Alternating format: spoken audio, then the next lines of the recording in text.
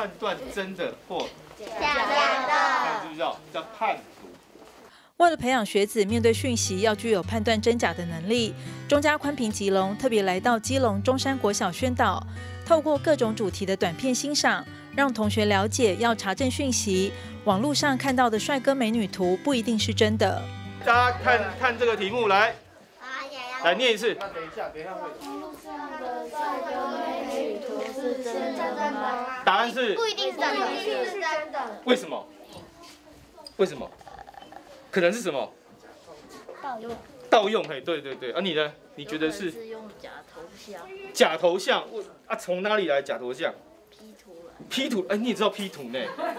中嘉宽屏吉隆的讲师也提醒学子不要任意转发讯息，尤其是散播疫情的假讯息，不但可能罚钱，还会涉及刑责的问题。在有奖问答时间，小朋友都踊跃举手发言，互动相当热络。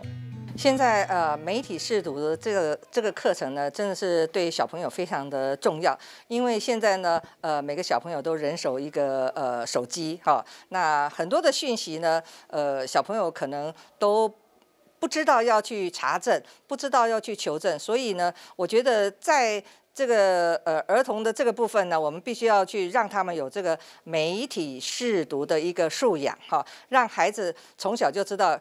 对任何的讯息，我们都要去查证啊。那我觉得今天非常开心哦，有这样一个那么活泼，用这个呃卡通的这个形式哈，让小朋友能够深入浅出哈，然后还有有奖征答。我看小朋友真的是呃真的是非常的开心，然后这样生动活泼的一个呃教学非常好。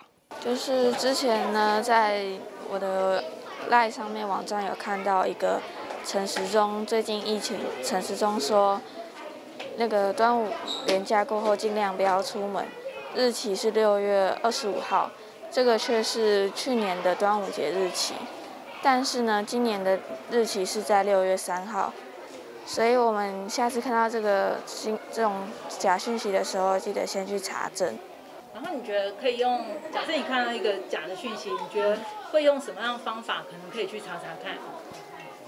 有，现在赖上面都有一些官网的官方网站可以去查，查询上面就有很多了。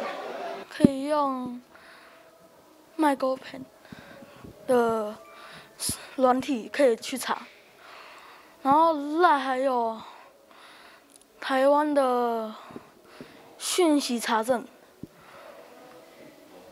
所以以后就是看到就是。看到讯息的话，一定要先去查，不然到时候被骗。